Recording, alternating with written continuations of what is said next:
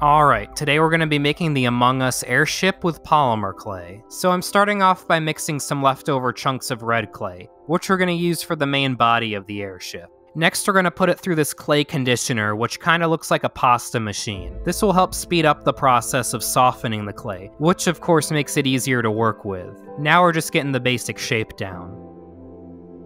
Now to start shaping the four little round engines that go on the corners of the ship, as well as the little jet propellers inside of them. So for a while now, I've been hesitant to make anything from Among Us, mostly because other big YouTubers are already making all the maps and characters and stuff. But now pictures of this new airship have been released, and I really like the design of it, so I decided to hop on it.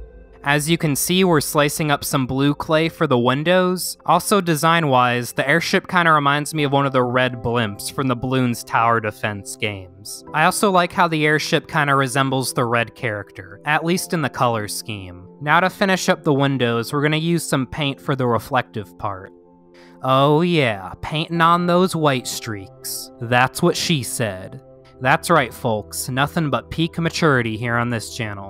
On a side note, I've had a couple people ask me when I'm gonna do more Pikmin stuff, and don't worry because I definitely plan on it soon. Anyway, here's the finished airship. Make sure you give this video a like, leave a comment if you want, and subscribe for more. Peace.